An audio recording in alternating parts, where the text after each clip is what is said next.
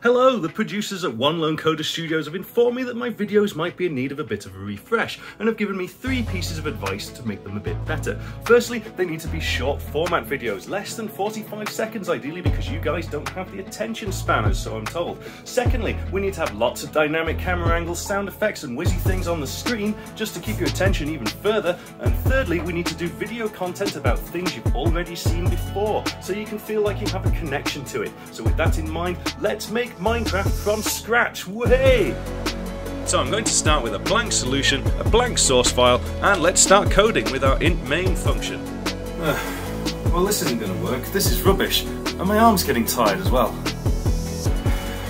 Why is everything got to be a race to the bottom? For